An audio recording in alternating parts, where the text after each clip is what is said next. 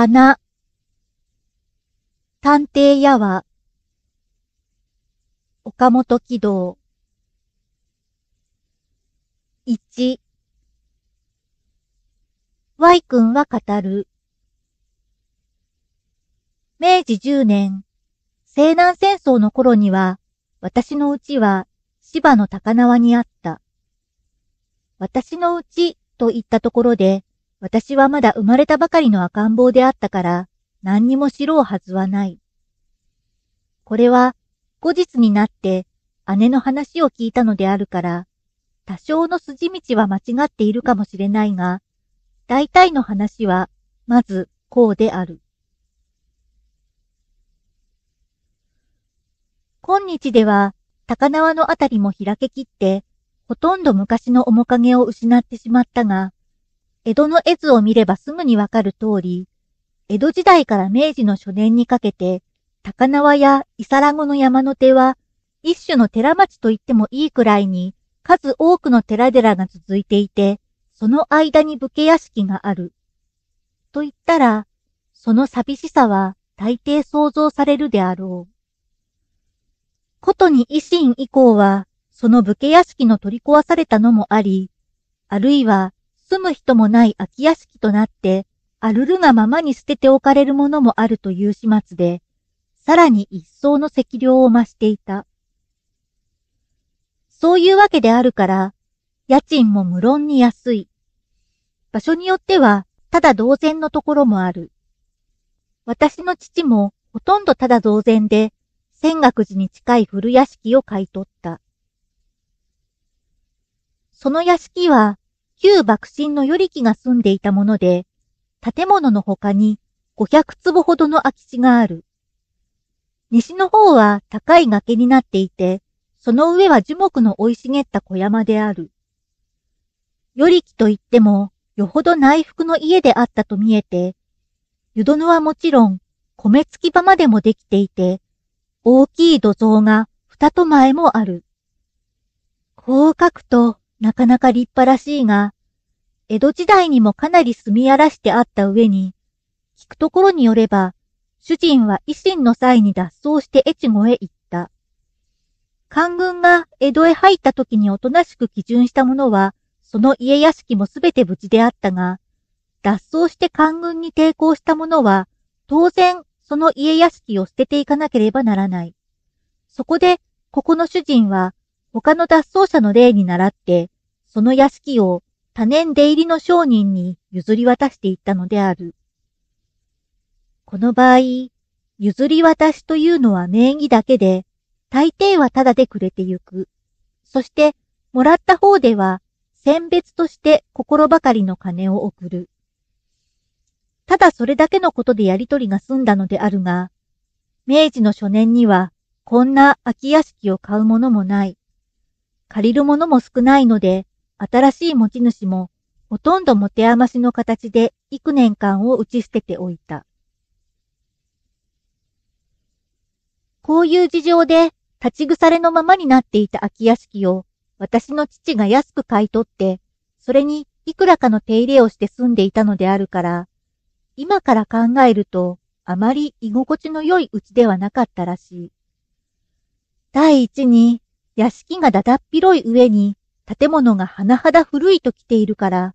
なんとなく陰気で薄っ暗い。庭も広すぎて、とても掃除や草取りが満足にはできそうもないというので、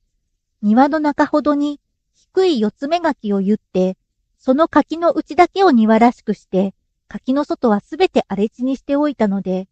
夏から秋にかけては、すすきや雑草が一面に生い茂っている。万事がこの体であるから、その荒涼たる光景は、察するにあまりありとも言うべきであるが、その当時は、東京市中にもこんな化け物屋敷のような家がたくさんに見出されたので、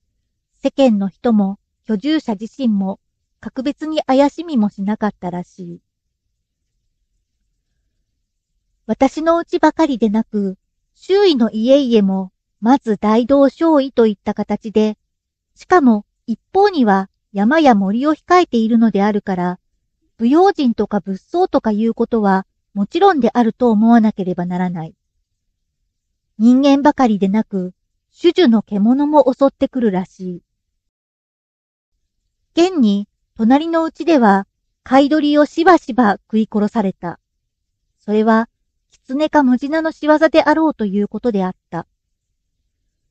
夕方の薄暗い時に、なんだか得体のわからない怪獣が、私のうちの台所を伺っていたと言って、年の若い女中が悲鳴を上げて奥へ逃げ込んできたこともあった。夏になると、蛇がむやみに這い出して、時には軒先からぶらりと長く下がってくることがある。全く始末に終えない。前置きが少し長くなったが、これらの話はそういう場所で起こったものであると思ってもらいたい。その年の8月、西郷隆盛がいよいよヒューガの国に追い込められたという噂が伝えられた頃である。私のうちの邸内で毎晩ガサガサ言う音が聞こえるというので、女中たちはまた怖がり始めた。何でも夜が更けると、人か獣か、邸内を忍び歩くらしいというのである。その当時、私の家族は、父と母と姉と私と、他に女中二人であったが、姉と私は子供と赤ん坊であるから問題にはならない。男というのは父一人で、他は皆女ばかりであるから、何かのことがあると一倍に騒ぎ立てるようにもなる。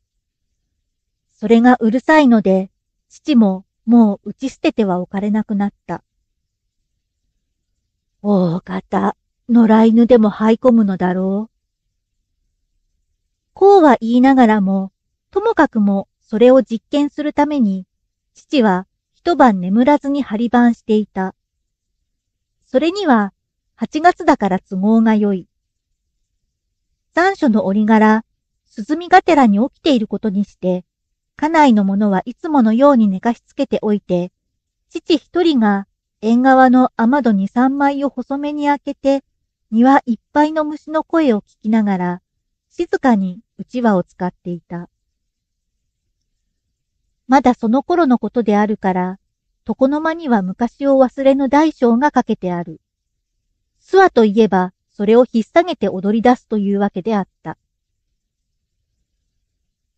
今年は、かなりに残暑の強い年であったが、今夜は珍しく涼しい風が吹き渡って、吹けるにつれて、浴衣一枚では、ちっと涼しすぎるほどに思われた。月はないが、空は鮮やかに晴れて、無数の星が金砂子のようにきらめいていた。夜ももう十二時を過ぎた頃である。庭のどこかでガサガサという音が低く響いた。それが夜風になびく草の外れでないと悟って、父は雨戸の隙間から庭の方に目を配っていると、その音は一箇所でなく、二箇所にも三箇所にも聞こえるらしい。獣だな。と、父は思った。やはり自分の想像していた通り、野良犬の類が忍び込んで何かの絵を漁るのであろうと想像された。しかし、せっかくこうして張り番している以上、その正体を見届けなければ何の役にも立たない。そうして、その正体を確かに説明して聞かせなければ、女どもの不安の根を立つことはできない。こう思って、父は、そっと雨戸を一枚開けて、草履を履いて庭に降りた。縁の下には、枯れ枝や竹切れが放り込んであるので、父は手頃の枝を持ち出して、静かに歩き始めた。庭には夜露がもう降りているらしく、草履の音を盗むには都合が良かった。耳を澄ますと、ガサガサという音は、庭先の空き地の方から低く響いてくるらしい。前にも言う通り、ここは四つ目垣を境にして、ただ一面の藪のようになっているので、人の丈よりも高いすすきの葉に、四つ湯の流れて落ちるのが暗い中にも光って見える。父は四つ目垣のほとりまで忍んできて、息を殺して伺うと、あたかもその時、そこらの草むらがざわざわと高く騒いで、たちまちに、キャッという女の悲鳴が聞こえた。女の声は少しく意外であったので、父もぎょっとした。しかし、もう猶予はない。父は持っている枝を取り直して、四つ目垣を回って空き地へ出ると、草むらはまた激しくざわざわと揺れてそよいだ。すすきや雑草をかき分けて、声のした方角へたどっていったが、普段でもめったに入ったことのない草原で、しかも夜中のことであるから、父にも確かに見当はつかない。父は泳ぐような形で高い草の間をくぐっていくと、にわかに足を滑らせた。つゆに滑ったのでもなく、草のつるに足を取られたのでもない。そこには、思いもつかない穴があったのである。はっと思う間に、父はその穴の中に転げ落ちてしまった。落ちると、穴の底ではまたもやキャッという女の声が聞こえた。父が転げ落ちたところには人間が横たわっていたらしく、その胸か腹の上に父の体が落ちかかったので、それに押しつぶされかかった人間が思わず悲鳴を上げたのである。その人間が女であることは、その声を聞いただけで容易に判断されたが、一体どうしてこんなところに穴が掘ってあったのか、またその穴の中にどうして女が潜んでいたのか、父には何にもわからなかった。あなたは誰ですか？と、父は意外の出来事に驚かされながら聞いた。女は答えなかった。頭の上の草むらはまたもやざわざわと乱れてそよいだ。もしもし、あなたはどうしてこんなところにいるのですか？女が生きていることは、その体のぬくみや息遣いでも知られたが、かの女は、父の問いに対して何にも答えないのである。父は、続けて声をかけてみたが、女は息を殺して沈黙を守っているらしかった。何しろ暗くてはどうにもならない。ここから家内の者を呼んでも、よく寝入っている女どもの耳に届きそうもないので、父はともかくもその穴を這い出して、内から明かりを持ってこようと思った。探ってみると、穴の間口はさほどに広くもないが、深さは一軒半ほどに達しているらしく、しかも、ほとんど切ったてのように掘られてあるので、それから這い上がることはすこぶる困難であったが、父は泥だらけになって、まず無事に這い出した。その時に草履を片足落としたが、それを拾うわけにもいかないので、